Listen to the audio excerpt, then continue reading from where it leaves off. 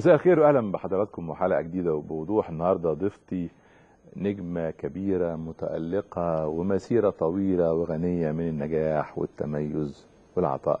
عملت في مسيرتها الفنية بصراحة نجاح كبير جدا في كتير من أعمالها السينمائية والتلفزيونية والمسرحية. حفرت اسمها مع الكبار والمبدعين. جميلة الشكل والاطلاله رقيقة الأداء ومحترفة جدا.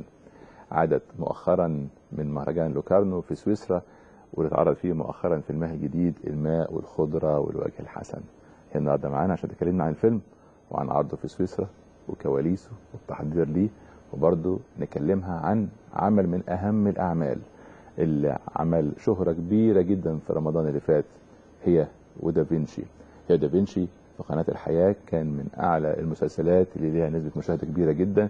اللي حظى باهتمام الجمهور وأيضا النقاد. نجمتي الجميلة ليلى علوي مساء الفل. مساء السعادة. أخبارك إيه؟ الحمد لله على السلامة. الله يسلمك. عاملة إيه؟ كله كويس يا عمرو؟ آه كان حلو قوي العرض في لوكاردو. الحمد لله يا رب. يعني كلنا زقطتنا. يعني مش بس إحنا كأسرة الفيلم والمصريين اللي كانوا هناك لا الجمهور نفسه كل جمهور يعني كان في مرة عرض 2000 شخص من يعني جنسيات متعددة طبعا فلبين وكوريا وأوروبا وأمريكا وكله ومن الدول العربية طبعا. والحمد لله الحمد لله كانت كل الناس آه، فرحانة. وبالتالي ده انعكس علينا فتلاقيني إن أنا فرحانة أنا كمان. وإحنا كمان فرحانين جدا لأن كنتوا شرفتونا جدا في مهرجان دولي. وإحنا كلنا سعداء بجد لأن الفيلم كمان سمعته حلوة قوي خلينا بس نشوف الأول تقرير عمله زملائنا في الإعداد عن الفنانة الجميلة ليلى علوي اللي منورانا النهارده وبعدين نبدأ حوارنا معاها.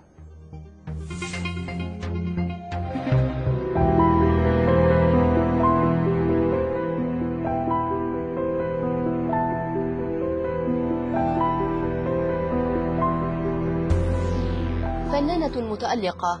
ملامحها تؤهلها لتكون ملكة جمال الدراما المصرية لكن جمال الروح أيضا جعل جمهورها يمنحها لقب موناليزا الشاشة هي الفنانة الرائعة ليلى علوي. طبعا لازم يهرب عاوز يروح للخليفة يقول له ابن الغجريه هيحكم الاندلس في يوم من الأيام. ده كان يذبحه بدأت ليلى علوي رحلتها مع الشاشة وهي في السابعة من عمرها من خلال برامج الأطفال في الإذاعة والتلفزيون وظهرت موهبتها فقدمها الفنان نور الشريف للعمل في المسرح كما اختارها المخرج أحمد ثروت للعمل السينمائي من خلال فيلم من أجل الحياة. تسكن لي في حارة مع خمسة في أوضة. وحصلت على بكالوريوس في إدارة الأعمال من جامعة عين شمس ثم جاء فيلم البؤساء عام 1977 ليكون نقطة انطلاق حقيقية إلى عالم الفن. طب خش تعالي ما تخافيش. أنا وبابا هنيجي معاكي. بعد إذنك يا بابا. صحيح والنبي ربنا يخليك. قدمت ليلى علوي أكثر من خمسين فيلما من بينهم ليلة البيبي دول حب البنات بحب السيمة ست الستات المصير. حلق حوش ومن أبرز أفلامها جحيم تحت الماء الحرافيش إعدام ميت. سمع هس بكرة تحلو الأحوال بكرة يفونا يترجونا علشان غنوة أو موال. شاركت في عدد من الأعمال المسرحية منها عش المجانين بكالوريوس في حكم الشعوب البرنسيسة الجميلة والوحشين. اما افتح الراديو. أشوف حاجة تسليني بدل الوحدة اللي أنا قاعدة فيها دي. وحدي قاعدة. آه. قاعدة في البيت. أنت كمان لوحدك يا عفاف كما قدمت عددا من الأعمال التلفزيونية المتميزة منها التوأم بنت من شبرا. تعال نحلم ببكرة. حديث الصباح والمساء. محمود مرة واحدة بس اسمع كلامي حبيبي. هي الست منين عايزة إيه في الدنيا؟ غير إن والفها يحسسها دايما إنه فاكرها وإنه بيقدرها وإنه مش ناسيها مهما كانت بعيدة عنه. واعتادت الفنانة ليلى علوي على تقديم مفاجآت جديدة لجمهورها في الموسم الدرامي بشهر رمضان وحققت نجاحا واسعا خلال الموسم الأخير بمسلسل هي ودافنشي والذي جسدت فيه دور المحامية الرومانسية الجريئة القوية كارما. أنا دلوقتي في المحكمة قدام سيادة المستشار. بيني وبينه خمس خطوات بالظبط. بجد يا أستاذة؟ المستشار وجدي ياسين بنفسه؟ يعني أمال خياله؟ لا مؤاخذة سعادتك. أصله فهمه بطيء شوية. إيه اللي بيحصل ده؟ أيوه يا حاج أنا معاك. طب فرحيني يا أستاذة. وافق خلاص؟ لا لسه. سيادة المستشار وجدي ياسين مصمم على 800 ألف. وبعد غياب لفترة عن السينما عادت الموناليزا ليلى علوي بدور رائع في فيلمها المعروض حاليا في دور السينما الماء والخضرة والوجه الحسن. شكرا سيادة الرئيس.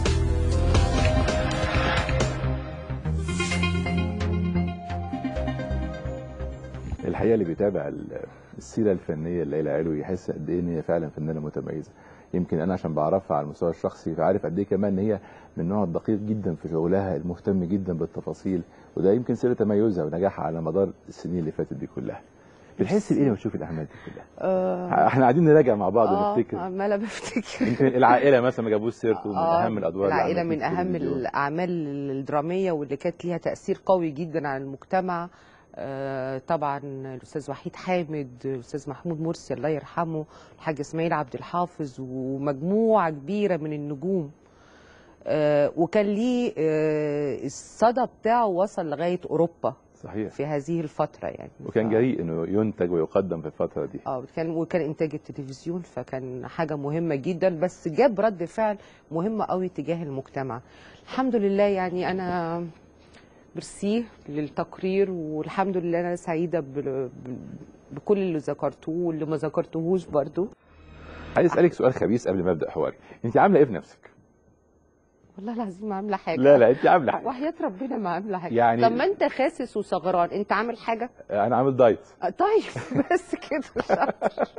ده أنا حتى بطلت ال diet. أنا تخنت عن ما خلصت الشغل 4 كيلو كمان. لا بس touch wood الحقيقة يعني الناس كلها ملاحظة حتى من هي ودافنشي انك انت ما شاء الله يعني رجعتي كده شبابك يعني الحمد لله يمكن النفسية لما بتبقى حلوة. يعني في العشرينات كده يعني. لا مش قوي كده لا في يعني. العشرينات. ماشي يا عمرو ميرسي على ال compliment أصل في ناس عارفين انك انت جاية النهارده فبيقولوا يعني اسألها السر إيه بس يعني عايز. والله العظيم أنا كذا حد بيسألني وبقالهم سنة بيسألوني وأكتر يعني من قبل المسلسل كمان من خلال الصور وكانوا بيقولوا فوتوشوب ومش عارفة إيه والكلام ده. بس والله ابدا أنا لسه ما عملتش أي حاجة في وشي إن شاء الله ناوية أعمل في الوقت المناسب. و... وفي كل الحكاية فعلا إن أنا خاسة. آه الحمد لله مبسوطة بشغلي. بتلعبي رياضة؟ بلعب يعني مش أكيد في بلعب وصفة في. وصفة سحرية كده لل- والله ابدا. للرشاقة دي وال والله ابدا. يمكن بدل ربنا بس يديني الصحة و... وبس يعني الحمد لله. بس أنا بهنيكي بصراحة إنك انت والله العظيم ما عاملة بجد. حاجة يا جماعة. لا والله برافو عليك مش عارفة أحلف. أهو والله العظيم ما عاملة حاجة خالص. طبيعي إحنا عارفين طبيعي. مش عارفة أقول إيه بس. بس بت- أنا خاسة. آه. يعني طبعا فارق معايا فارق في اللبس فارق في اللوك.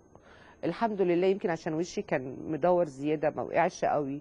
آه لكن بحط مكياج طبعا وإضاءة وحاجات كده يعني. وشايفاكم إن أنتم مبسوطين فأنا كمان بتأثر بكل حاجة حواليا فبابا مبسوطة فبيبان. أصل أحيانا بيقولوا الإنسان لما بيكون محلو كده يبقى في قصة حب جديدة في حياته. ما أنا بقول لك أنا بحب قوي ال- الفترة اللي أنا فيها دي. لا قصة حب. قصة حب رجل وامرأة يعني. أيوة. يعني قول يا رب إن شاء الله. يعني مفيش قصة حب في حياتك دلوقتي؟ إن شاء الله يا رب. ما هي دي السر بقى. حد يكره. هي دي السر بقى. يا رب كل الناس تبقى في حالة حب وتبقى سعيدة و... ومبسوطة. يا لكن رب. م- يعني مش هنسمع أخبار سعيدة قريبا عن ليلى علوي؟ لا ما أعتقدش. المهم إن أنا أبقى مبسوطة بس. كده خليني أروح بقى معاكي اولا لهي ودافنشي قبل ما أتكلم على الفيلم. أنا عايز أعرف أنت الدور ده اخترتيه إزاي أو هم اختاروكي إزاي؟ يعني عايز أعرف الفكرة جت إزاي. آه لا هو هقول لك. آه هم اختاروني و... وأنا اتأخرت كمان في الرد لظروف حصلت لي. آه بس أنا الحقيقة آه هم كانوا بيحضروا هذا العمل آه، أسرة المسلسل آه، الأستاذ خالد الصاوي الأستاذ محمد الحناوي الأستاذ عبد العزيز حشاد والإنتاج كانوا بيحضروه من ساعة ما خلصوا مسلسل السنة اللي فاتت. وعرضوه عليا آه، تقريبا في شهر ديسمبر أو يناير يناير. وأنا تحمست للحلقات الأولى جدا وبعدين حصلت ظروف والدتي تعبت فلغيت كل أي حاجة بفكر فيها.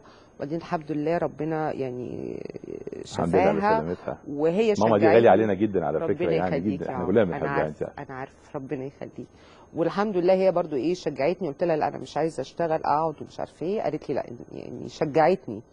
فلما قريت آه، أكتر والحقيقة كان عندي يمكن التأخير آه، اللي حصل فادني في إن أنا قريت 15 حلقة فطمنت أكتر. شدك الدور. الحلقات شدتني إيه اللي شدك فيه بقى؟ هو أنا مركب بقيت جدا بصراحة بقيت عارف فا- فاكر وقت عرض المسلسل والناس كلها عايزة تشوف ده إيه بجد ولا ولا شبح ولا ولا ولا خيال ولا إيه بالظبط ولا أوهام ولا حقيقة ولا إيه أنا كنت عاملة كده وكل ما كنت بخمن حاجة ما كانتش بتبقى صح. فده أكتر حاجة شدتني. وطبعا كنت شخص- أنت يعني شواقة تعرفي اخره آه. إيه المسلسل ده. آه. ف... فكنت يعني وأنا بقرأ كده ده عندي إثارة وعايزة أعرف اللي جاي إيه. والشخصية مختلفة وجديدة عليا عجبتني قوي. آم، حسيت إن في آه، يعني محمد الحناوي بجد آه، عامل حاجات كتيرة قوي كمان ما بين السطور. يعني في معاني في إيه؟ المسلسل آه، بتتكلم على ال... على بتتكلم على الضمير على ال... الأمانة في العمل آه، البني آدم البسيط محتاج إيه عشان يحس إن هو بني آدم آه، الشر والخير الصراع اللي ما بين كل واحد فينا جواه وما بيعلنش عنه. إزاي. إزاي بيتحول وإزاي بيتصرف حسيت إن المقاسي ال... ال... البني آدم بتتكرر من شخص لآخر. لكن آه، رد فعل البني آدم هو اللي بيتغير على حسب كل بني آدم مم. مقرر إيه وعايز إيه آه، استمتعت بيه جدا وأنا بقرأ آه، أنا بالنسبة لي آه، يعني بجد خالد الصاوي من يوم ما ابتدى وهو مبدع لكن أنا بشوف إن في هذا العمل آه، كانت في حاجة منورة قوي وعالية قوي وصادقة قوي قوي قوي قوي. إحنا كان في بينا آه، شغل حلو آه، ألفة حلوة آه، الكاست كله كنت حباه قوي قوي قوي. عايزة أقول لك إن بجد العمل ده خلص في وقت قياسي وفي زمن قياسي. يعني نقول ميرسي لكل اللي ورا الكاميرا وللمخرج طبعا. وللإنتاج و- ولينا طبعا لكل الزملاء اللي تعبوا جدا جدا جدا يعني. تعالي نشوف مشهد من المسلسل ده. بحبك بنتي! مش مهم المهم إن أنا إن أنا إن أنا ماسكك بجد. بتحبي إيه؟ الكلام اللي في آخر المشهد. مم. أنا مش متذكراه قوي بس بس بجد لما قريته و... وكنا بنقوله أنا وخالد كنا مبسوطين قوي. ولما اتفرجت عليه و... وسمعته لدرجة رحت منزلاها عندي على ال- الصفحة بتاعتي لأن الكلام حلو. الحوار حلو قوي قوي قوي بجد يعني. وبعدين آه، بالرغم إنها رومانسية في في رومانسية لكن فيها شكل جديد وطعم جديد وحس جديد وتحليل جديد للحب. الحمد لله جدا. بصراحة هي كانت نموذج رائع للرومانسية. وفي كتير جدا من الناس كنت بقابلهم في رمضان بيحكوا لي على إن هو ده المسلسل الرومانسي في ظل حالة الصخب والضجيج اللي موجودة في مسلسلات رمضان. مسلسل فيه في theme of love في قصة حب حقيقية. رغم إن فيها شوية يعني في الأول كان فيها شوية ghost ومش ghost وشبح ومش شبح لكن التيمة نفسها وال- والإحساس والأداء اللي كان بينك وبين خالد قد إيه كان بديع. فعلا حقيقي. الحمد لله الحمد لله. وبعدين واضح كمان إن كنتوا كنتوا متجانسين. يعني الحقيقة الأدوار ال- ال- شخصية كارما أنا شايفها مرت بمراحل كتيرة جدا.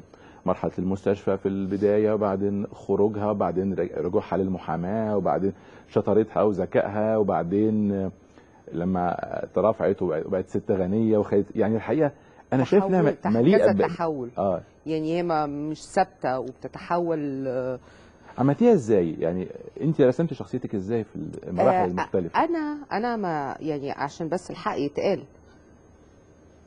أنا فهمت الشخصية كويس اللي كانت مكتوبة ومرسومة بالتالي وأنا تخيلتها هي شكلها إزاي وبتتكلم إزاي وبتتصرف إزاي. وكانت أهم حاجة عندي إن هي تتصدق. يعني أنا كنت بخلص أي مشهد قلقانة منه وأنا شخصية قلوقة يعني فبقلق كتير. فأقعد أسأل. تصدقيني يعني أسأل مثلا الأستاذ حشاد أسأل الأستاذ آه، يوسف أسأل آه، أي- يعني اللي موجودين صدقتوني. المساعد المخرج الممثلين اللي معايا آه، مصدقيني طبيعية مش حاسين إن أنا بمثل. هو ده كانت عندي أهم حاجة. ولو حد قال لك إن مثلا كان في اوفر شوية في الأداء اعيد؟ طبعا اعيد بس يعني مش بس ما كناش بنعيد كتير يعني مش فاكرة إن إحنا قعدنا حاجات آه، آه، كتيرة في للأداء إلا لو حد نسي حاجة مش عارفة إيه حاسة إن أنا ممكن أقولها أحسن آه، الحقيقة آه، ال teamwork لما بيبقى هو آه، حابب شغله ومقتنع بيه وعايز يعمل حاجة ما تتصورش ده بيفيد آه، العمل وبيفيد الكل قد إيه. بس أكيد كان في مشاهد عندك صعبة. أنا بالنسبة لي مشاهد المحاماه دي كانت صعبة اللي هي في الم- المرافعة. آه. اللي في الحلقة الأولى وفي الحلقات التانية دي كانت بن... ليه؟ يعني أنا مش متخيلة نفسي إن أنا محامية ومش متخيلة نفسي إن أنا قاعدة في محكمة وإن أنا يعني ما كنتش شايفة ده. كان في مشاهد تانية آه، حباها قوي قوي قوي ومرعوبة منها جدا زي مثلا مشهد بعشقه في الحلقة ال 12 يمكن أو اللي هو لما أنا أول مرة بنتقابل بجد أنا ودافنشي مم. اللي هو كان في السجن عنده وهو ملبسينه كده مش باين غير عينيه وأنا آه، لابسة النقاب آه، مشهد الفينال ده آه، عايزه أقول لك مثلا المشهد ده مش عايزة أقول لك إحنا عملنا إيه عشان نصوره ويطلع بالشكل ده. من إخراج وتصوير وصوت وديكور وكله يعني. ف الحمد لله. كنا حابين اللي إحنا بنعمله والحمد لله وصل للناس. وأنا سعيدة جدا إن الناس حابة العمل وبتتفرج عليه لغاية دلوقتي تاني وتالت لا الناس و- حباه جدا و فالحمد يعني لله أنا يعني. حاسس بده وده باين جدا عندنا كمان اتشاف بشكل كبير جدا في الحياة عندنا. نشوف. مشهد النقاب ونطلع لفاصل بعدها ونرجع نواصل حوارنا مع نجمتنا الجميلة اللي منورانا النهارده ليلى علوي أهلا بحضراتكم في لقائنا مع النجمة ليلى علوي نجمة مسلسل هي دافنشي مسلسل اللي حاز اعجاب المشاهدين على قناة الحياة في رمضان. إحنا سعداء جدا بالمسلسل سعداء بالنص بالإخراج بالتمثيل بالتصوير بالإنتاج. كل العناصر كانت ممتازة. الكاستنج بقى أنا شايف معاكي كان معاكي يعني كوكبة جميلة جدا من الفنانين. اختيارهم تم إزاي؟ آه في شايف وجوه جديده لطيفة جدا موجودة. آه بص آم، كانت قرفته حلوة وفعلا لما قعدنا أنا والأستاذ ممدوح شاهين والأستاذ خالد الصاوي والأستاذ عبد العزيز حشاد ومحمد حناوي والمساعدين والتصوير أستاذ يوسف بارود قعدنا واتكلمنا في الشخصيات وفي المسلسل وفي ال...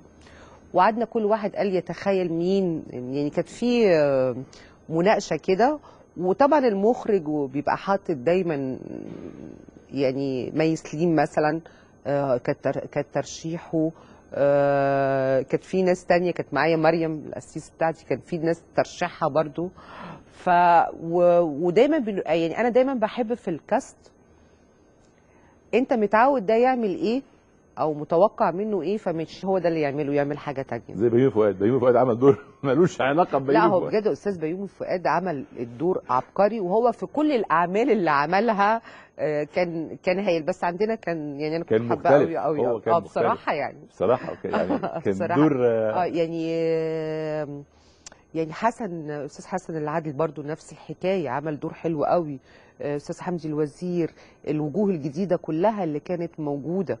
آه، لا يعني بجد أنا بشكرهم كلهم وبقول لهم مبروك وبقول لهم إن أنا استمتعت جدا جدا معاهم أثناء التصوير وكلنا كنا سند لبعض. المسلسل فيه إسقاطات كتيرة زي ما أنت ما قلتي وفي تعالية. وفي كوميدي وفي وفي كوميدي. خفة دم وفي حنية وفي حاجات غير متوقعة ومفاجأة. آه، يعني في تمثيل عبقري. الحمد لله. أصعب مشهد بقى يعني أنا بتكلم على فكرة أصعب مشهد بالنسبة لك. وسط التناقضات اللي أنت عايشاها و... وبعدين بيواجهك إنك أنت دافعتي عن إنسان لا يستحق يترافع عنه. ومجنونة شوية. ومجنونة شوية وبتمثل جنان شوية, بتمثل شوية جنان. ودعيفه شوية ومحامية شاطرة و... أظن ده جديد عليكي يعني ما, ما لعبتيش كل هذه الأنماط في دور واحد في شخصية واحدة في مسلسل. يعني طبعا حاليا الواحد مركز في ده فمش مش فاكر لكن آه، يعني أنا أعتقد مثلا مسلسل زي حديث الصباح والمساء الشخصية بالمراحل والسنين اللي هي عاشتها كان كان في بنت من شبرا آه، لا كان في آه، يعني مراحل كتيرة جدا طبعاً. و- ومقاسي ومعاني وكذا حاجة آه، تعالى نحمد بكرة برضو كان عندي يعني شخصيات متنوعة يعني شخصية كانت آه، من واحدة شرسة جدا ومجرمة جدا وانتهازية جدا إلى واحدة بتطهر نفسها والظروف بتساعدها. فهي شخصية مختلفة وجديدة والكتابة الموضوع نفسه وتناوله والمعالجة بتاعته الحقيقة كانت مختلفة وجديدة وده اللي شد الناس. يعني الناس وصلت آه، من خلال آه، الفيسبوك وآراء الناس وصلت إيه اللي إيه كارما وإيه دافنشي من قبل ال final. كان إيه الانطباعات اللي الناس بتقولها لك؟ آه كارما. وإيه اللي هيحصل؟ طب هو حقيقة ولا مش حقيقة؟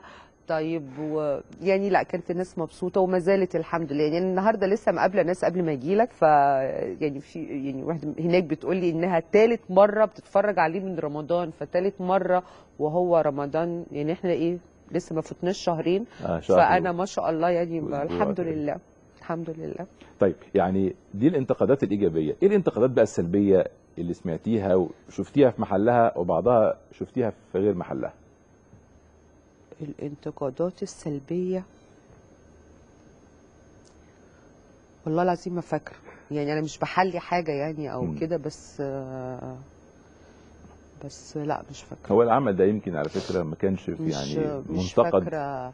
آه، الموسيقى أستاذ رجح داود كان عامل موسيقى حلو التتر كان. حلو. آه، آه، التصوير آه، عمل إضافة كبيرة جدا جدا جدا. آه، آه، للحالة وإحساسه بال بالقاري المشاهد كلها ومتعايش مع الممثل ومع الإنتاج ومع الإخراج عمل إضافات كتيرة. لا مشاهد المرافعة مين دربك عليها؟ المونتاج المونتاج كان حلو قوي. آه، لا محمد حناوي هو اللي كاتب كل لا حاجة مين دربك على المرافعة؟ محمد حناوي. يعني هو اللي علمك لا أنا طبعا سألت يعني أصل أنت عمرك ما لقيتي دور محاميه قبل كده. لا عمري. صح. وأنا لا اخر واحدة أنفع محامية. بس يعني لأنها شغلانة صعبة جدا. يعني شغلانة يعني لا بس هي حقيقي كانت مكتوبة حلو و... والحمد لله. أول مرة تقفي قدام المحكمة ولابسة البلطو الأسود أظن كان موضوع صعب بالنسبة لك. ما دخول قاعه المحكمة في حد ما ذاته كنتش آه ما ك... لأن أنا عمري ما دخلت محكمة. يعني يعني الحمد لله يعني عمري ما ما دخلت محكمة بجد. كلها النهارده السبت المفروض ال- هيتم إعلان جوائز مسابقه لوكارنو مهرجان لوكارنو وفيلمك موجود فيه. تتوقعي إيه؟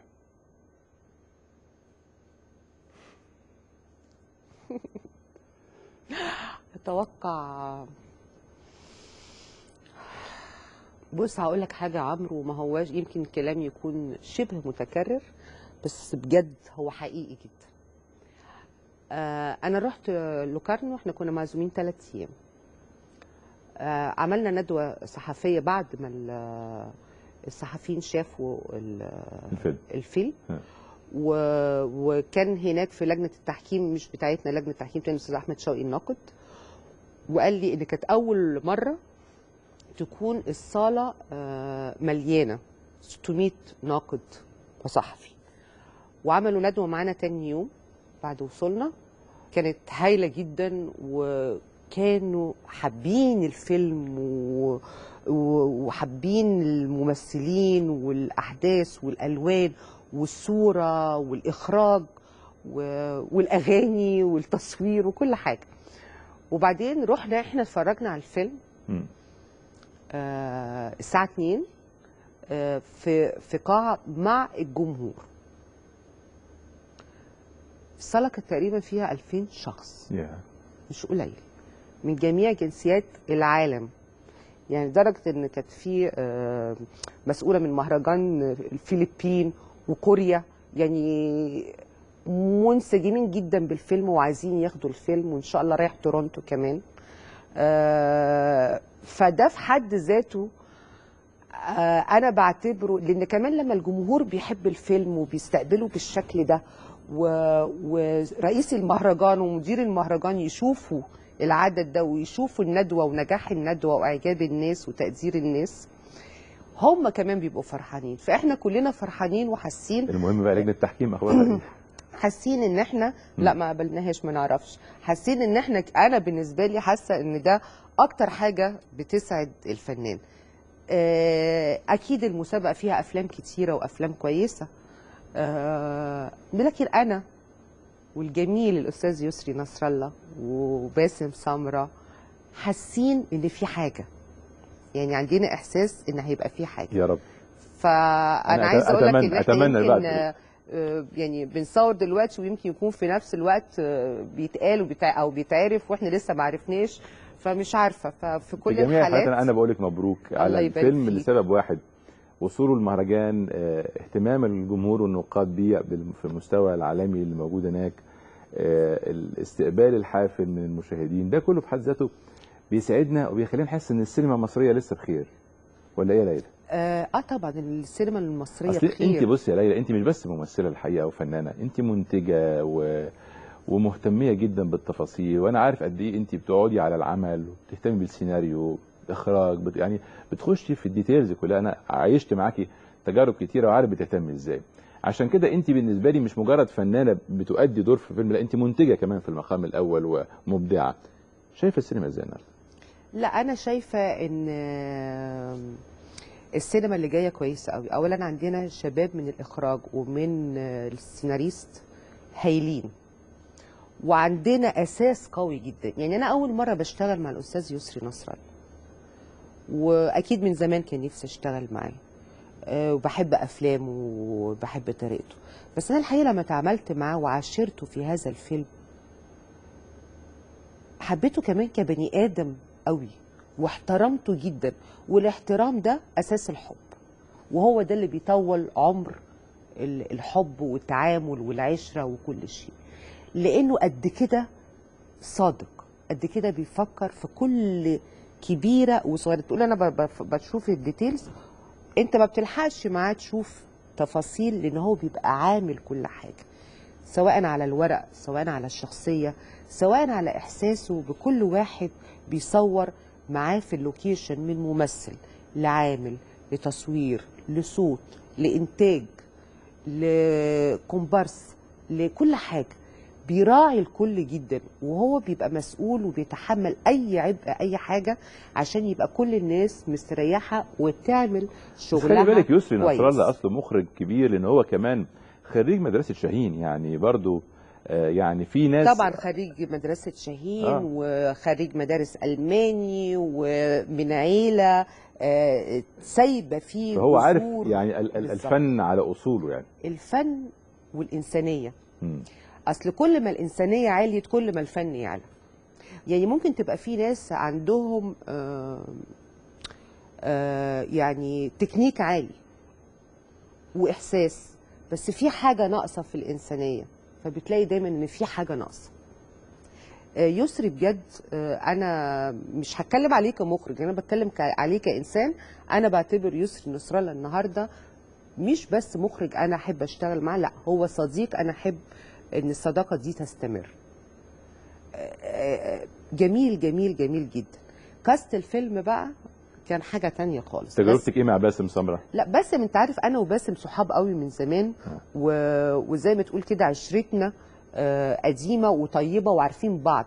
وأنا أحب وأستريح جدا لما يكون باسم معايا يعني أبقى عارفة إن في في في في في شغل حلو هو. بسيط إنسان بسيط جدا وجميل و...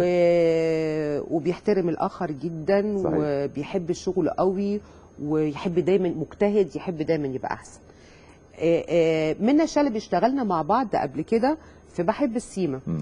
بس النهارده بقى وهي وهي عروسة كانت صغيرة كانت صغيرة طبعا آه. وهي نجمة وهي عروسة وهي حبانة وحابة دورها وحابة الشغل أهم حاجة إن الناس اللي بتشتغل مع بعض تبقى بتحب بعض. لأنها بتبقى عشره زي اللي في البيت وزي الجواز لو ما بيحبوش بعض كل حاجة مش هتبقى حلوة. سامحني يا رب. تيمة الفيلم أنا شايفها تيمة إنسانية رومانسية برضو فيها يعني يعني يعني ممكن تكون تيمة غائبة حاليا في السينما. بص الفيلم ده حالة حقيقية جدا ومن الواقع جدا. فيها آه، رومانسية وفيها متعة وفيها مصالح وفيها مراقبة وفيها كوميدي وفيها رقص وفيها كل حاجات كتيرة آه، وهو غير متوقع. يعني اللي عاجبني في الفيلم إن هو غير متوقع وسلس جدا وممتع جدا. يعني مثلا صابرين عاملة حتة character مجرم إجرام بسلاسة جدا مميزة جدا جدا في الفيلم. محمد فراج أستاذ صبري عبد المنعم آه، أستاذ علاء آه، أنا مش عايزة أز... محمد الشرنوبي آه، يعني في ناس كتير كل واحد عامل شغل كاستنج حلو جدا. ألوان الفيلم مبهجة مبهجة مبهجة. وده طبعا كان عايزه الأستاذ يسري وكان متفق مع مدير التصوير. حتى الأغاني اللي في الفيلم مكتوبة له ومعمولة له مخصوص. الفيلم فيه بهجة. وفيه حياة وفيه أرض مصرية وفيه غيط وفيه فلاحين وفيه اقتصاد وفيه حب وفيه كل حاجة. عموما يا جماعة الفيلم هيتعرض كمان أربع أيام يوم 17 أسبوع إن شاء الله. آه فيعني أرجوكم أنا بشوف إن بعد الكلام اللي قالته ليلى على الفيلم أتصور إن إحنا قدام فيلم جميل. شوف التريلر بتاعه ونطلع لفاصل ونرجع نواصل حوارنا مع نجمتنا الجميله ليلى. أما أنا شفت حتة واحدة يا عم قمر. البت.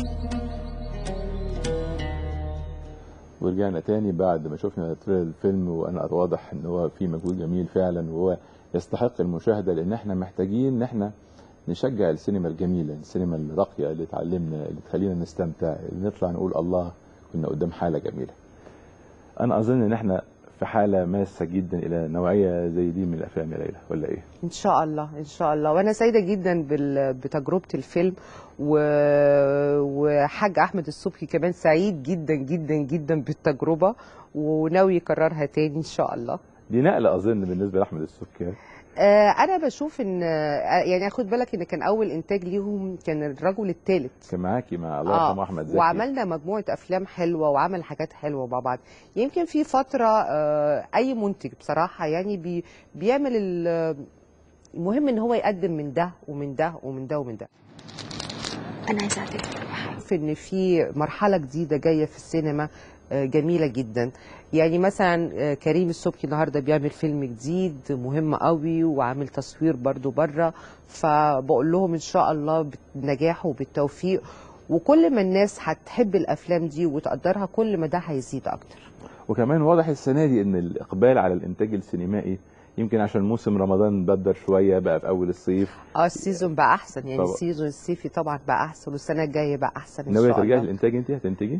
إن شاء الله. بس ألاقي الورق اللي, أقول هو ده اللي أنا عايزه إيه أعمله. الورق اللي انت ممكن يعجبك عشان أنا نفسي؟ أعمل فيلم musical قوي. وحشاني وحشني إن أنا يبقى فيه فيلم musical موسيقي آه، للسينما المصرية في الألفية الجديدة دي لأن ده ما اتعملش. ف سمع هس يعني كنت عملتي لا musical كوميدي بسيط. آه طبعا. بس ان يعني سمع هس ده من 20 سنة. و- فإحنا عايزين حاجة تانية بقى. فبنقلة تانية ب... لكن أنا بتمنى بجد ألاقي حاجة كده وأعملها. حاسة إن الناس في العالم كلها بتحب المزيكا. صحيح. يعني إحنا شعب الشعب الشعب المصري والوطن العربي كله بينتعش من الموسيقى. الموسيقى بتأثر على روحه. فلما يكون في فيلم يعني مثلا آه، زي ماما ميا. طبعا. تخيل لو حاجة زي كده اتعملت بقى في شرم مثلا مين اللي ولا- ميزرابل؟ اللي شفتها شفت- شفتها في نيويورك كانت حاجة بديعة جدا. بالظبط. آه. بس ما هو انت كل حاجة ممكن تتعمل كدراما ممكن تتعمل دراما موسيقية. آه، أعتقد إن هتبقى ليها ممكن تبقى مكلفة أكتر لكن هتبقى مشاهدتها كمان أكتر. وهيجي تحت كتافنا كده بشبرين التلفزيون بتفكري في إيه كده؟ يعني أنت السنة دي أنت من النوع المقل شوية. أنا عارف إنك أنت محسوكة جدا في اختياراتك. بترفضي أعمال كتير بتجيلك عشان خاطر بتدوري على حاجة معينة وأنا عارف ده طول عمرك بالطريقة دي يعني. لكن أنت النهارده بتفكري بايه اللي جاي؟ يعني الدور ده دور جديد على ليلى مختلف مركب في point of attack كتيرة ونقاط تحول كتيرة. اللي جاي إيه؟ بتفكري في بص إيه؟ أنا هكلمك بصراحة. يعني أنا مش عارفة أعمل إيه دراما. يعني لسه برضو إحنا مش خارجين بقالنا كتير بقالنا شهر وشوية يعني. فمش قادرة بس خارجة ناجحة ومنورة. الحمد لله. آه يعني ف... عندي عندي طاقة. عندك بس طاقة. مش عارفة أروح فين. في أني أني لون وأني اتجاه. و- وحقيقي بجد السنة دي الدراما المصرية كانت عالية جدا ومتنوعة. إيه اللي عجبك السنة دي؟ عجبني يحيى الفخراني عجبني محمود عبد العزيز عجبتني يسرا طبعا جدا عجبني جدا موت خالص. آه بتاع تامر حبيب. آه جراند اوتيل آه. جراند اوتيل آه. آه شوقي الماجري والجميلة جدا جدا نيلي كريم. لا كانت في أعمال كتيرة متنوعة وحلوة. أنا يمكن كمان مش بس يعني- مش مش ملاحظة إن جيل ال- ال- النجوم الكبار رجع نور السنة دي بشكل كبير. يعني بتتكلمي على يسرا بتتكلمي على يحيى أستاذ محمود عبد العزيز. يعني دول كلهم جيل آه ال- الكبار يعني الحمد لله آه وكمان كان في الشباب زي جراند اوتيل آه. وكذا حاجة تانية يعني كان في حاجات كتيرة السنة دي أنا شايفة إن الفرايتي السنة ده كان كانت يعني غنية ومتنوعة بالنسبة طب للمشاهد إيه اللي ما عجبكيش؟ ها إيه اللي ما عجبكيش؟ ما شفتوش ما أعرفش طب إيه عامة اللي مش بيعجبك؟ ما بتشوفيهوش والله يا عمرو يعني يعني أنا مش من النوع اللي عمري بتكلم اللي يعني ما في. مشاهد عنف كتيرة كانت موجودة برضه في مسلسلات وانت كنت رئيسة لجنات تحكيم كتير ما هو يعني. أنا ما بتفرجش دوليه لا أنا مش بتفرج على يعني ما أقدرش أقول لك إيه اللي ما عجبنيش لأني ما شفتوش. لما بلاقي حاجة مش مش لوني أو مش بتاعتي مش بتفرج عليها.